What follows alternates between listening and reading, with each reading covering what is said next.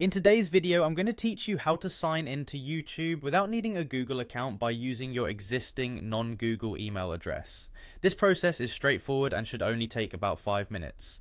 Let's dive right in. First, open up your preferred web browser and head over to Google Search. In the search bar, type create Gmail account and hit enter. This will lead you to a page where you can start the process of creating a Google account which will allow you to use services like YouTube without necessarily needing a Gmail address. Once you have the search results in front of you, locate and click on the link that says Create a Gmail account. Even though this seems like the conventional step for making a Gmail address, rest assured we'll be using your existing email to set up your Google account instead.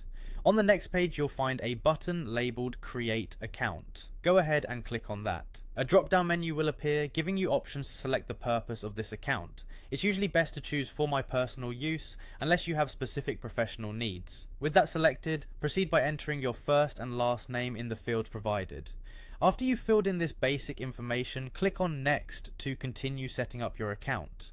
Now you'll be prompted to enter your birthday and gender. This information is part of Google's standard procedure for creating accounts, so input your details and hit next.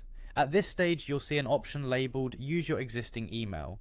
This is the step where you diverge from the typical Gmail account setup.